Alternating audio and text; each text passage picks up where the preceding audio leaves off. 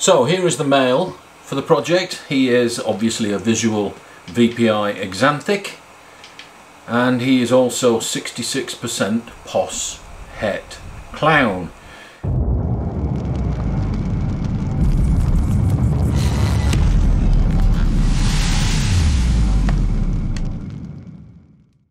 Hi guys, it's Rob from Royal Balls. We've got clutches hatching thick and fast now. We're going to take a look at a double het project, my Axanthic Clown project.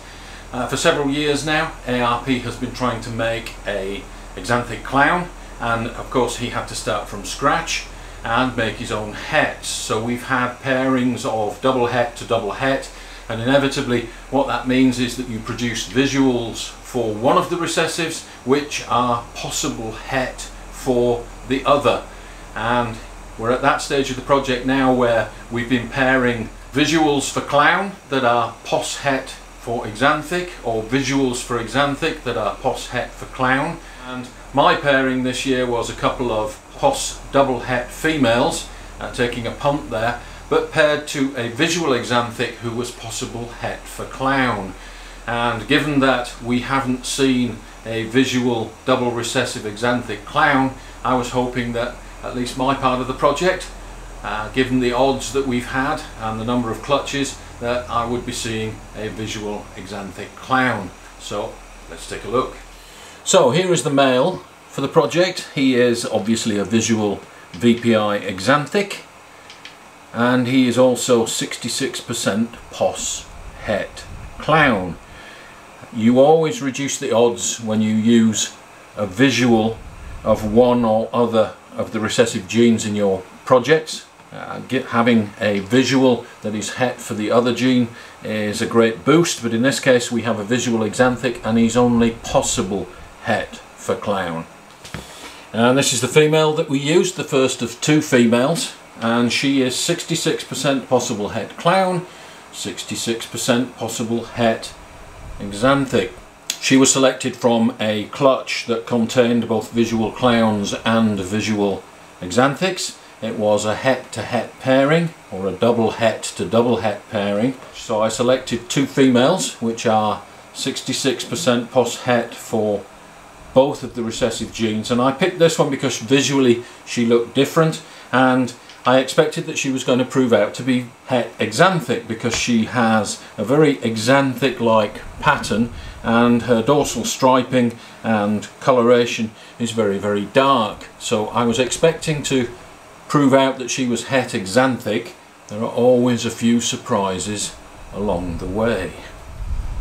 Okay so here we are clutch 6 this is the possible double het axanthic clown to an axanthic visual possible het for clown male.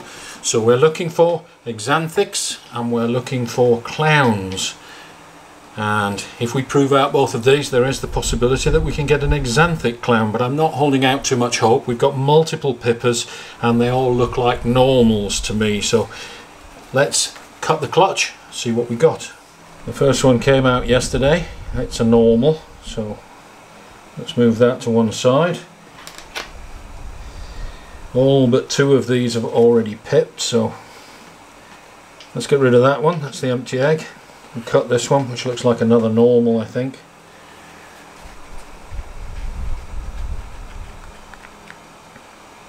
That's another normal. Cut this one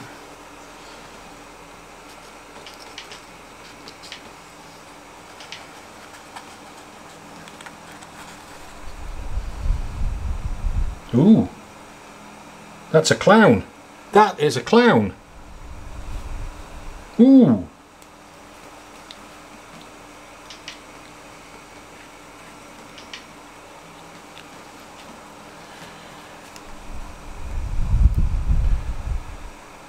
Which means, I'd like to see the head on that, but that means that the male axanthic is het for clown and the female is also het for clown. So, we have a chance here. I want to see an axanthic in these remaining eggs.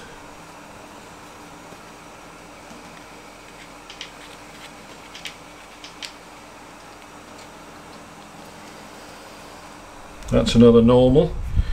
It's not looking good for the axanthic side of things, but these are all 100% het axanthics.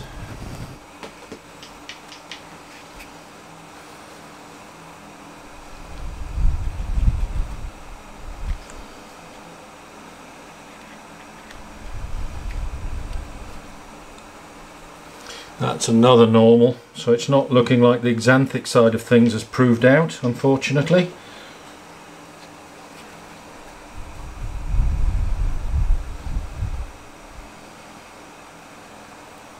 The male was a visual axanthic, so I would have expected if the female was het, we would have seen an axanthic by now, and we haven't.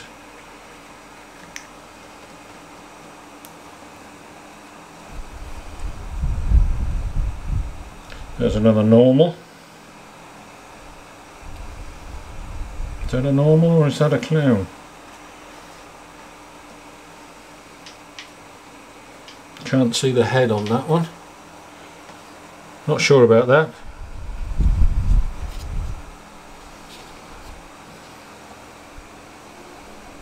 So at least the male has proved out. Xanthic het for clown.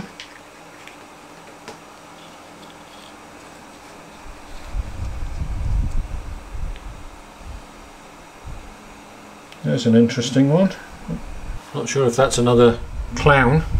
Pattern looks unusual. We'll have to wait for these guys to come out.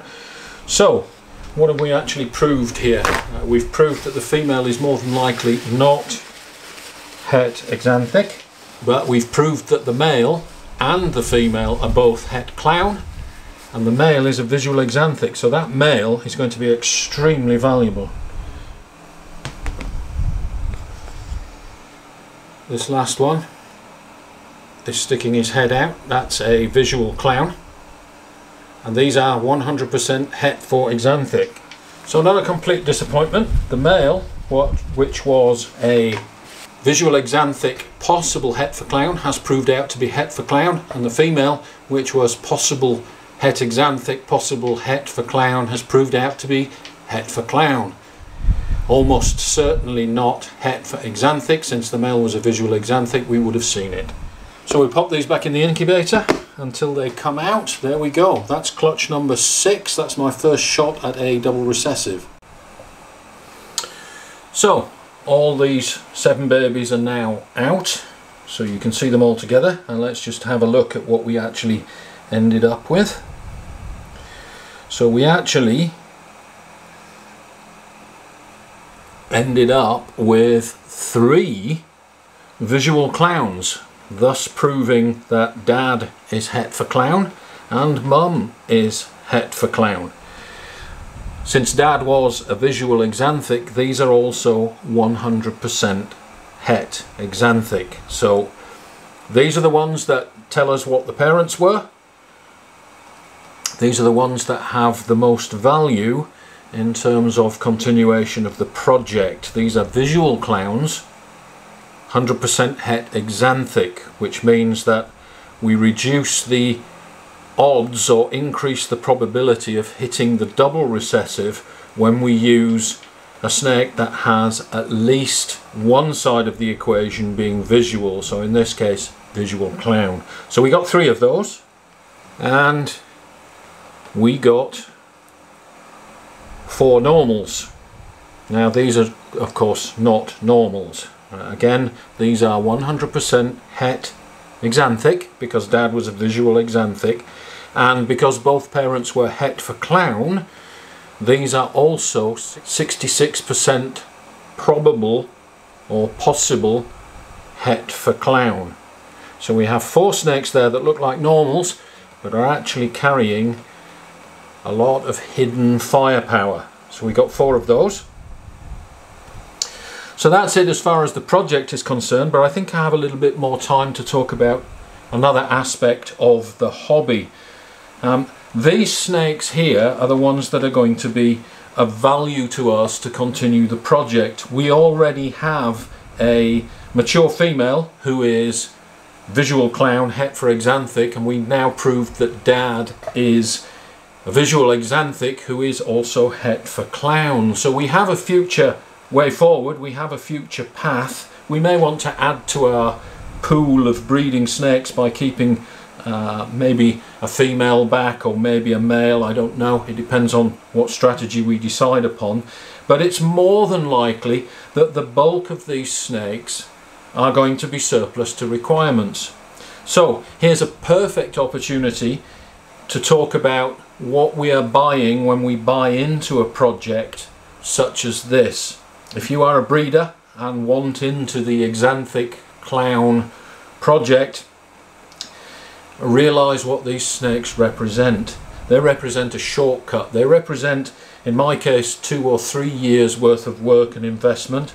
In ARP's case, these snakes here represent possibly five years of work and investment, growing snakes, feeding snakes, breeding snakes in order to produce these offspring.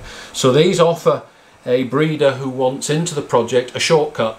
They offer a second or third generation snake and save maybe three years worth of project time in order to jump into the project midstream.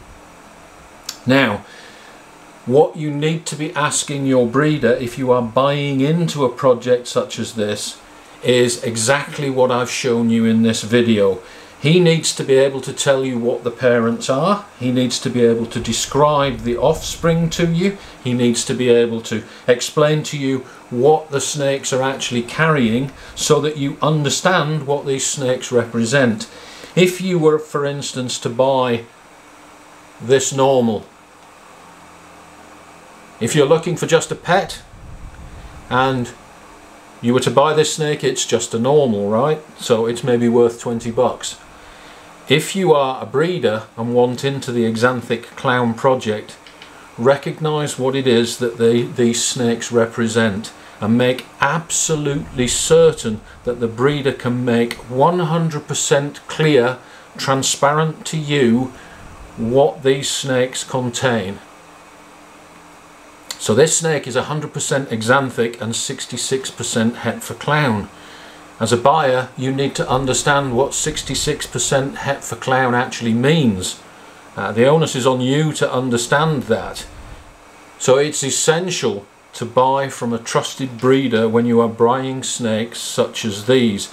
We tend to focus on price. We tend to focus on trying to save ourselves 50 bucks or 100 bucks instead of focusing on the important stuff. What were the parents that produced these snakes? What's hidden inside these snakes? Can you guarantee that this is 100% Het VPI Axanthic and it's 66% Het for clown? And that there is a chance that this may not prove out to actually be Het for clown. If you buy one of these guys, recognize what it is that you're buying. This is not just a visual clown. It's not just a visual recessive. This is carrying 100% Het for axanthic. Recognize what that means. Recognize how much time and investment has gone into the project to get to this point if you are buying this snake. These are all the questions that you need to be asking rather than trying to get 50 bucks off the price. Buy from a trusted breeder, if possible, a local breeder that you can go visit the facility, you can go look at the snakes, you can touch the snakes, you can talk to the breeder about the parents, about the siblings, and about the project to date, and he should be able to explain to you in any amount of detail that you want to reassure you that what you are buying is what he says they are. These represent years worth of investment. So there you go guys, not a complete disaster. In actual fact, um, it shows a lot of the ups and downs of double recessive projects. Um, you win some, you lose some. And in this particular case, pairing a visual axanthic possible het for clown to a possible double het female, um, if we hadn't seen a visual double recessive, um, the chances are that what we did see in the clutch would prove out nothing. If everything was normal, you would still be none the wiser which of the snakes was not the het.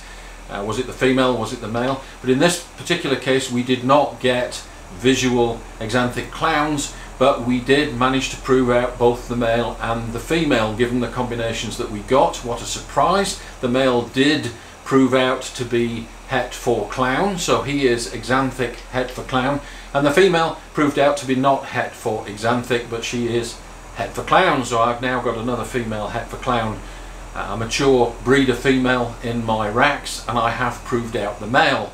The perfect partner for him next season would be to pair him to a visual clown that is het for axanthic and hopefully by next year we will have the visual double recessive. So there you go, it takes a while, you play the odds, you win some, you lose some, there are ups and downs, but this outcome is not a total disaster uh, because we have actually proved out definitively what the male is. He will be extremely useful in the project for future seasons.